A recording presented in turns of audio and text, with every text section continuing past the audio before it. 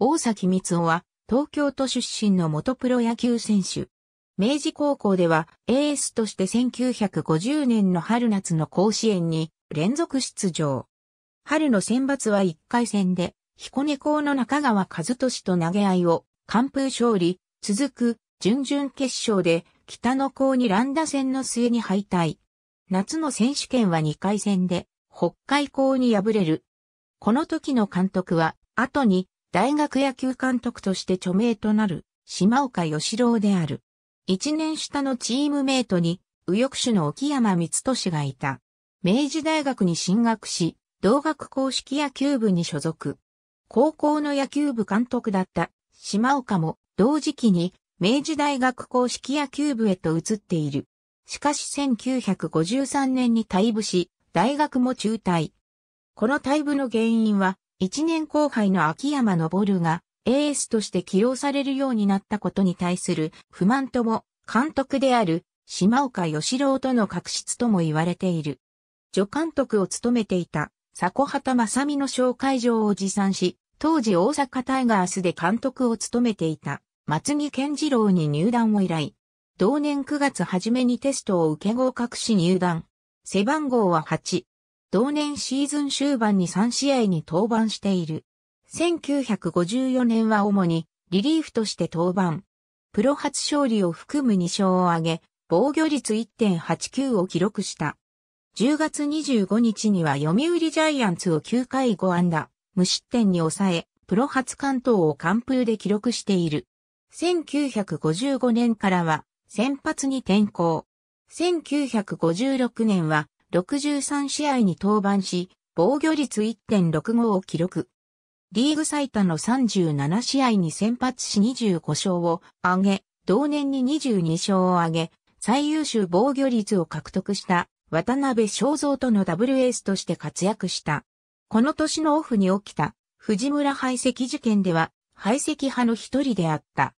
翌1957年は48試合の登板に減少したが、先発では前年と同程度の35試合に登板し20勝、防御率2.09の高記録を残す。同年はリーグ最多の7試合の無四球完投を記録している。1958年も26試合に登板。21試合で先発したものの8勝に終わり、防御率も前年から1点以上悪化し3点台に終わった。この年のオフに近鉄バファローに移籍。パリーグ界に低迷するチームにおいてエースとして期待されたものの、1959年はわずか2勝、翌1960年も1勝に終わった。同年オフに現役を引退した。引退後は大阪放送とフジテレビの野球解説者を務めた。また、1979年と1980年は阪神タイガースの2軍投手コーチも務めた。1996年に刊行された南一万、ミツル、新トラデンでは、当時滋賀県のゴルフ場で支配人をしていたと記されている。大崎の持ち味は、速球で強気の投球に特徴があった。この特徴は、大崎と共にエースとして活躍した渡辺正造とは対照的であった。コントロールの良い投手で、支球が非常に少なかった。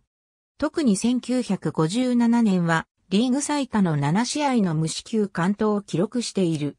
酒好きであったようで、ルポライターの藤崎義彦に戦前の主戦投手西村幸代に対して戦後の主戦投手は大崎と評された。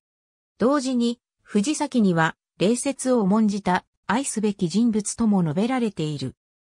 選抜高等学校野球大会60年史毎日新聞社編1989年、全国高等学校野球選手権、大会70年史朝日新聞社編1989年、ABCDEFG、猛虎人国記東京都江戸っ子の巨人キラー。スポーツ日本。